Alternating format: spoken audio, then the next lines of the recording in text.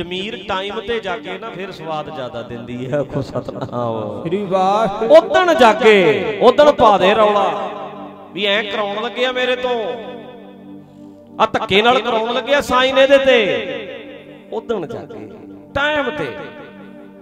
ਅਗਲਾ ਲਾ ਕੇ ਪਰੇ ਸਿੱਟਦੇ ਮੁੜ ਕੇ ਫਿਰ ਸਾਰੇ ਭੇਦ ਦੱਸਦੇ ਆ ਜੀ ਤੁਹਾਨੂੰ ਐ ਕਰਿਆ ਇਹਨਾਂ ਨੇ ਸਾਡੇ ਨਾਲ ਐ ਕਰਿਆ। ਉਹ ਫਿਰ ਸਵਾਦ ਨਹੀਂ ਰਹਿੰਦਾ।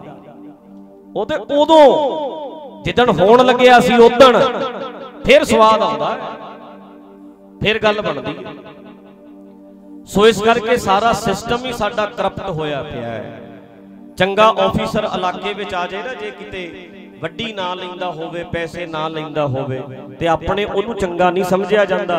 ਕਹਿਣਗੇ ਤੇ ਪੈਸੇ ਨਹੀਂ ਲੈਂਦਾ, ਮੈਂ ਤੇ ਰਿਸ਼ਵਤ ਦੇਣ ਦੀ ਵੀ ਕੁਝ ਮੈਂ ਚੱਲ ਫੜ ਲੈ, ਪੈਸੇ ਲੈਂਦਾ ਹੀ ਨਹੀਂ, ਬੰਦਾ ਹੀ ਬਹੁਤ ਖਰਾਬ ਹੈ, ਉਹਨੂੰ ਐ ਕਹਿੰਦੇ ਆ ਸਾਡੇ ਸਾਰੇ। ਜਿਹੜਾ ਬੰਦਾ ਨਾ ਰਿਸ਼ਵਤਾਂ ਲਵੇ, ਜਿਹੜਾ ਕਹੇ ਮੈਂ ਹੱਕ ਸੱਚ ਦੀ ਕਮਾਈ ਕਰਨੀ ਹੈ, ਉਹਨੂੰ ਸਗੋਂ ਮਾੜਾ ਕਿਹਾ ਜਾਂਦਾ ਹੈ। ਇੱਕ ਟੀਚਰ ਵਧੀਆ ਡਿਊਟੀ ਕਰੇ, ਸਰਕਾਰੀ ਹੋਵੇ ਸਕੂਲ, ਇੱਕ ਟੀਚਰ ਵਧੀਆ ਡਿਊਟੀ ਕਰੇ ਬਾਕੀ ਦੇ ਸਾਰੇ ਕਹਿਣਗੇ ਵੀ ਕਿਉਂ ਆ ਕੇ 8 ਵਜੇ ਬਹਿ ਜਾਂਦਾ ਤੂੰ ਬਾਹਲਾ ਹੀ ਪੜਾਕੂ ਜ਼ਿਆਦਾ ਚੰਗਾ ਚੰਗਾ ਬਣਨੋਂ ਬਣਨ ਨੂੰ ਫਿਰਦਾ ਹੈ। ਬਾਕੀ ਦੇ ਨਾਲ ਦੀ ਉਹਦਾ ਵਿਰੋਧ ਕਰਨ ਲੱਗ ਜਾਣਗੇ। ਨਾਲ ਵਾਲੇ ਆਫੀਸਰ ਹੀ ਵਿਰੋਧ ਕਰਨਗੇ। ਵੀ ਜੇ ਤੂੰ ਨਹੀਂ ਰਿਸ਼ਵਤ ਖਾਂਦਾ ਸਾਨੂੰ ਵੀ ਨਹੀਂ ਮਿਲਦੀ। ਜੇ ਤੂੰ 4 ਵਜੇ ਤੱਕ ਪੜਾਏਗਾ ਸਾਨੂੰ ਵੀ ਪੜਾਉਣਾ ਪਊ ਤੇਰੇ ਕਰਕੇ। ਜੇ ਤੂੰ ਰੋਜ਼ ਆਏਗਾ ਸਾਨੂੰ ਵੀ ਆਉਣਾ ਪਊ। ਜੇ ਤੇਰਾ ਸਬਜੈਕਟ ਵਿੱਚ ਤੇਰੇ ਵਾਲੇ ਸਬਜੈਕਟ ਵਿੱਚ ਬੱਚਾ ਅੱਗੇ ਲੰਘ ਗਿਆ ਲੋਕੀ ਸਾਨੂੰ ਵੀ ਪੁੱਛਣਗੇ। ਇਹ ਸਾਡਾ ਸੁਭਾਅ ਹੈ। ਉਹ ਨਾਲ ਦੇ ਨੂੰ ਵੀ ਪਿੱਛੇ ਖਿੱਚਦੇ ਐ। ਵੀ ਤੂੰ ਕਿਉਂ ਕਰਦਾ ਹੈ ਜੇ ਤੂੰ ਕਰਦਾ ਹੈ ਲੋਕੀ ਫਿਰ ਦੂਜੇ ਸਾਨੂੰ ਸਵਾਲ ਕਰਦੇ ਐ। ਉਹ ਦੂਜੇ ਨੂੰ ਵੀ ਰੋਕਦੇ ਐ। ਇਹ ਗੱਲਾਂ ਮੈਂ ਆਮ ਆਮ ਤੁਸੀਂ ਵੇਖਿਓ ਨਾ ਜਿਵੇਂ ਹੁਣ ਅਸੀਂ ਅਸਥਾਨ ਤੇ ਗੁਰਦੁਆਰੇ 'ਚ ਰਹਿੰਦੇ ਤੇ ਗੁਰਦੁਆਰੇ ਵਿੱਚ ਜੇ ਇੱਕ ਬੰਦਾ ਸਵੇਰੇ ਹੀ ਉੱਠ ਕੇ ਸੇਵਾ ਲੱਗ ਜੇ ਕਰਨ ਤੇ ਦੂਜਿਆਂ ਨੇ ਆਰਾਮ ਕਰਨਾ ਹੋਵੇ, ਉਹਨੂੰ ਵੀ ਫਿਰ ਰੋਕਣ ਜਾਣਗੇ ਵੀ ਤੂੰ ਸਵੇਰੇ ਲੱਗ ਜਾਂਦਾ ਬਾਹਲਾ ਹੀ ਤੂੰ ਨੇੜੇ ਲੱਗਣਾ ਚਾਹੁੰਦਾ ਹੈ, ਤੂੰ ਵੱਡਾ ਬੰਨਣਾ ਚਾਹੁੰਦਾ ਹੈ, ਤੂੰ ਜ਼ਿਆਦਾ ਇਨਾਮਦਾਰੀ ਭਾਲਦਾ ਹੈ। ਤੂੰ ਤੈਨੂੰ ਮਿਲ ਜੂ ਕੱਪ, ਵੇਖਾਂਗੇ ਫਿਰ ਤੈਨੂੰ ਕੀ ਮਿਲੂ ਇੱਥੇ, ਜਿਹੜਾ ਤੂੰ ਬਾਹਲਾ ਹੀ ਲੱਗ ਪੈਣਾ ਸੇਵਾ ਕਰਨ। ਉਹ ਦੂਜੇ ਨੂੰ ਚਾਹੁੰਦੇ ਨੇ ਵੀ ਇਹ ਵੀ ਹਟੇ। ਜੇ ਪੰਜ ਚਾਰ ਬੰਦੇ ਕਈ ਲੈ ਕੇ ਕੰਮ ਕਰਨ ਲੱਗ ਜਾਣਗੇ, ਉਹ ਦੂਜਿਆਂ ਨੂੰ ਹੁੰਦਾ ਵੀ ਯਾਰ ਇਹ ਕਰਦੇ ਨੇ, ਇਹਨਾਂ ਕਰਕੇ ਸਾਨੂੰ ਵੀ ਕਿ ਪੁੱਛਣਗੇ ਵੀ ਤੁਸੀਂ ਨਹੀਂ ਕਰਦੇ। ਉਹ ਫਿਰ ਕੋਸ਼ਿਸ਼ ਕਰਦੇ ਨੇ ਵੀ ਇਹਨਾਂ ਨੂੰ ਹਟਾਇਆ ਜਾਵੇ। ਇਹ ਸਾਡੇ ਵਰਗੇ ਹੋਣ, ਇਹ ਵੀ ਸੁੱਤੇ ਰਹਿਣ ਸਾਰਾ ਦਿਨ, ਕਹਿਣ ਵਾਲਾ ਹੀ ਨਾ ਕੋਈ ਹੋਵੇ। ਇਹ ਸੁਭਾਅ ਹੈ ਸਾਡਾ। ਇੱਕ ਮੱਝ ਲਿਬੜੀ ਆ, ਸਾਰਿਆਂ ਨੂੰ ਕੋਸ਼ਿਸ਼ ਕਰਦੇ ਆ ਵੀ ਸਾਰੇ ਇੱਕੋ ਜਿਹੇ ਹੋ ਜਾਣ। ਬੇਦਾਗ ਰਵੇ ਕੋਈ ਨਾ, ਸਾਰੇ ਦਾਗੀ ਹੋਣ। ਸਾਰੇ ਇੱਕੋ ਜਿਹੇ ਹੋਣ। ਤੇ ਰਿਸ਼ਵਤਖੋਰ ਤੇ ਸਾਰੇ ਹੋਣ। ਇਹ ਸੁਭਾਅ ਬਣ ਗਿਆ ਸਾਡੇ ਸਮਾਜ ਦਾ, ਇਹ ਸੁਭਾਅ ਹੈ। ਸਾਰਾ ਸਿਸਟਮ ਕਰਪਟ ਹੋਇਆ ਇਸ ਕਰਕੇ। ਜਿਵੇਂ ਕਹਿੰਦੇ ਮੀਂਹ ਨਹੀਂ ਪਿਆ, ਇੱਕ ਇੱਕ ਕਹਾਣੀ ਹੈ। ਕਹਿੰਦੇ ਇੱਕ ਰਾਜਾ ਕਹਿੰਦਾ ਆਪਣੇ ਵਜ਼ੀਰ ਨੂੰ ਵੀ ਮੀਂਹ ਨਹੀਂ ਪੈਂਦਾ, ਕੀ ਕਰੀਏ? ਕਹਿੰਦੇ ਕਿ ਬਾਬੇ ਨੂੰ ਪੁੱਛ ਲਓ ਵੀ ਮੀਂਹ ਪੈ ਜੇ। ਉਹ ਬਾਬੇ ਕੋਲ ਚਲੇ ਗਏ। ਕਹਿੰਦੇ ਬਾਬਾ ਜੀ ਮੀਂਹ ਕਿਉਂ ਨਹੀਂ ਪੈਂਦਾ? ਕਹਿੰਦੇ ਪੈਣਾ ਨਹੀਂ। ਤੇ ਜੇ ਮੀਂਹ ਪੈ ਗਿਆ ਜਿਹੜਾ ਮੀਂਹ ਵਾਲਾ ਪਾਣੀ ਪੀਊ ਪਾਗਲ ਹੋ ਜੂ ਬਾਬਾ ਕਹਿੰਦਾ ਵੀ ਜੇ ਮੀਂਹ ਵਾਲਾ ਪਾਣੀ ਜਿੰਨੇ ਪੀਤਾ ਤੇ ਪਾਗਲ ਹੋ ਜੂ ਉਸ ਵੇਲੇ ਰਾਜਾ ਵਜ਼ੀਰ ਨੂੰ ਪੁੱਛਦਾ ਵੀ ਕੀ ਕਰੀਏ ਫਿਰ?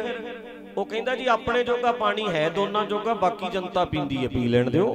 ਪਾਗਲ ਤੇ ਇਹ ਹੋਣਗੇ ਆਪਾਂ ਥੋੜਾ ਹੋਵਾਂਗੇ। ਮੀਂਹ ਤੇ ਚੰਗਾ ਪੈ ਲੈਣ ਦਿਓ।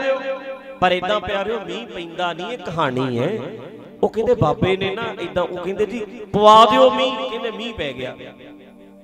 ਕਹਿੰਦੇ ਜਿਹੜਾ ਮੀਂਹ ਪੀਏ ਪਾਗਲ ਹੋ ਜੇ, ਜਿਹੜਾ ਮੀਂਹ ਵਾਲਾ ਪਾਣੀ ਪੀਵੇ ਪਾਗਲ ਹੋ ਜੇ, ਮੀਂਹ ਵਾਲਾ ਪਾਣੀ ਪੀਵੇ ਪਾਗਲ ਹੋ ਜੇ। ਸਾਰੇ ਪਾਗਲ ਹੋ ਗਏ, ਰਾਜਾ ਤੇ ਵਜ਼ੀਰ ਸਿਆਣੇ ਰਹਿ ਗਏ ਦੋ। ਤੇ ਸਾਰੇ ਪਾਗਲਾਂ ਨੇ ਗੁਰਮਤਾ ਕਰ ਲਿਆ। ਉਹ ਸਾਰੇ ਇਕੱਠੇ ਹੋ ਗਏ। ਉਹ ਕਹਿੰਦੇ ਆਪਾਂ ਸਾਰੇ ਇੱਕੋ ਸੋਚਦੇ ਆ ਆ ਦੋ ਵੱਖਰੇ ਨੇ ਸਾਡੇ 'ਚ।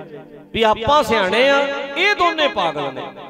ਉਹਨਾਂ ਨੇ ਸਾਰਿਆਂ, ਸਾਰੇ ਰਲ ਗਏ ਉਹਨਾਂ ਨੇ ਫਿਰ ਕੀਤਾ ਕੀ ਕਹਿੰਦੇ, ਐ ਕਰੋ, ਇਹ ਦੋ ਪਾਗਲ ਨੇ, ਸਾਡੀ ਗੱਲ ਨਹੀਂ ਮੰਨਦੇ, ਇਹਨਾਂ ਦੋਨਾਂ ਨੂੰ ਮਾਰੋ। ਉਹ ਜਦੋਂ ਦੋਨਾਂ ਨੂੰ ਮਾਰਨ ਦੀ ਤਿਆਰੀ ਕਰ ਲਈ, ਰਾਜਾ ਫਿਰ ਵਜ਼ੀਰ ਨੂੰ ਪੁੱਛਦਾ ਹੈ ਵੀ ਤੂੰ ਤੇ ਕਹਿੰਦਾ ਸੀ ਫਾਇਦਾ ਹੋਊਏ ਸਾਰੇ ਇੱਕੋ ਜਿਹੇ ਹੋ ਗਏ, ਆਪਾਂ ਦੋਨੇ ਅੱਡ ਰਹਿ ਗਏ। ਹੁਣ ਫਿਰ ਇਹਦੇ ਮਾਰ ਦੇਣਗੇ, ਹੁਣ ਕੋਈ ਬਚਣ ਦਾ ਤਰੀਕਾ ਹੈ? ਉਹ ਕਹਿੰਦਾ, ਤਰੀਕਾ ਹੀ ਇੱਕ ਹੈ ਜੀ, ਆਪਾਂ ਵੀ ਮੀਂਹ ਵਾਲਾ ਪਾਣੀ ਪੀ ਲਓ ਬਸ। ਜਿਹੇ ਜੇ ਬੌਲੇ ਜੇ ਇਹ ਨੇ, ਆਪਾਂ ਬਣ ਜਾਓ। ਬਾ ਕਮਲੇ ਜੇ ਜਿਹੇ ਜੇ ਇਹ ਨੇ ਉਹੇ ਜੇ ਆਪਾਂ ਬਣ ਜੋ ਬਸ। ਆ ਜਿੰਨੇ ਪ੍ਰਚਾਰਕ ਫਿਰਦੇ ਨੇ ਨਾ ਜਿਨ੍ਹਾਂ ਦਾ ਵਿਰੋਧ ਹੁੰਦਾ ਹੈ ਇਹਨਾਂ ਪ੍ਰਚਾਰਕਾਂ ਨੂੰ ਬੇਨਤੀ ਹੈ ਸਣੇ ਮੇਰੇ ਵੀ ਲੜੀਆਂ ਲੁੜੀਆਂ ਲਾਓ। ਆਪੇ ਵਿਰੋਧ ਹੋਣ ਵੜ ਮੱਥੇ ਟਿਕਾਇਆ ਕਰ ਪਿੱਛੇ ਲਾ ਲਾ ਇੱਕ ਪਰਦਾ। ਇੱਥੇ ਟੈਂਟ ਦੇ ਪਿੱਛੇ ਇੱਕ ਟੈਂਟ ਹੋਰ ਲਾ ਲਾ।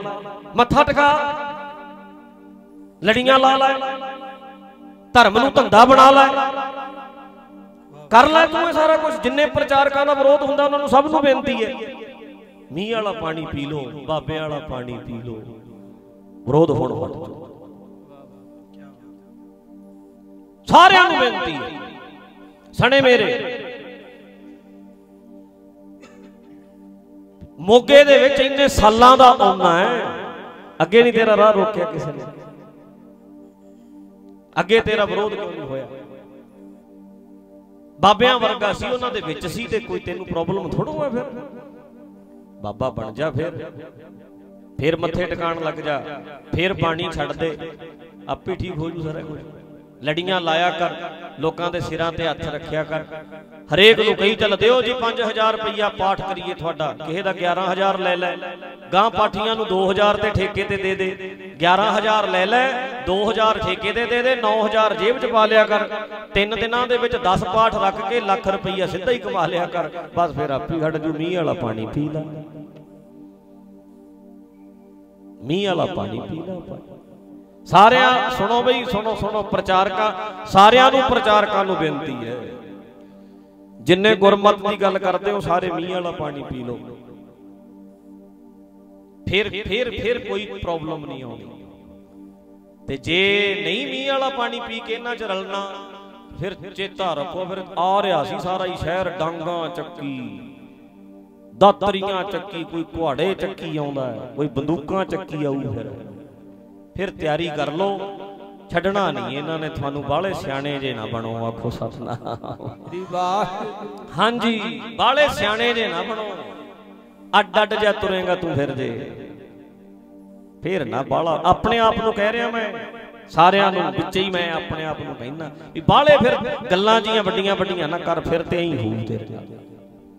ਐਂ ਹੋਊ। ਸਾਡਾ ਸਿਸਟਮ ਹੈ ਇਦਾਂ ਦਾ।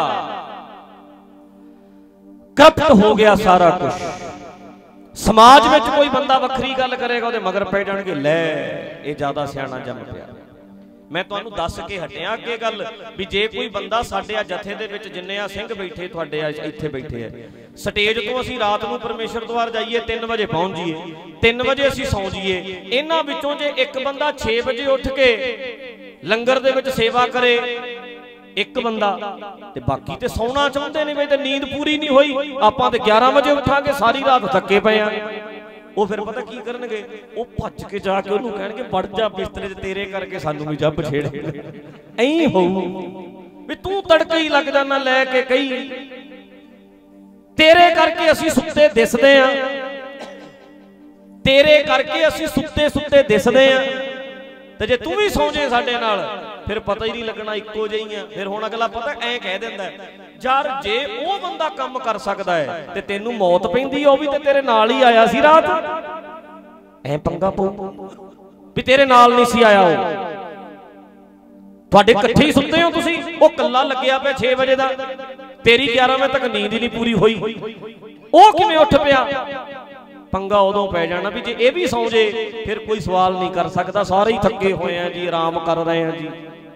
ਫਿਰ ਐ ਹੋ ਜੂ ਹੁਣ ਪੰਗਾ ਜ਼ਿਆਦਾ ਪਤਾ ਬਾਬਿਆਂ ਨੂੰ ਕੀ ਪਿਆ ਹੈ? ਉਹ ਜੇ ਢੱਡਰੀਆਂ ਵਾਲਾ ਸੰਤ ਤੋਂ ਭਾਈ ਬਣ ਸਕਦਾ ਤੇ ਤੁਹਾਨੂੰ ਕੀ ਮੌਤ ਪੈਂਦੀ ਹੈ ਆਖੋ ਸਤਨਾਮ?